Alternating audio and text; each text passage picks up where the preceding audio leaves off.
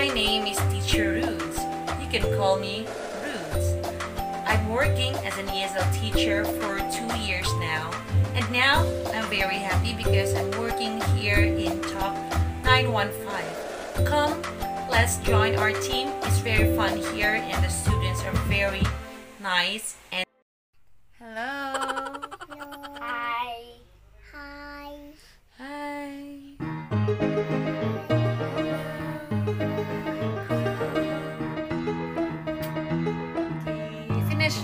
Okay na. Oh, wait na, wait na.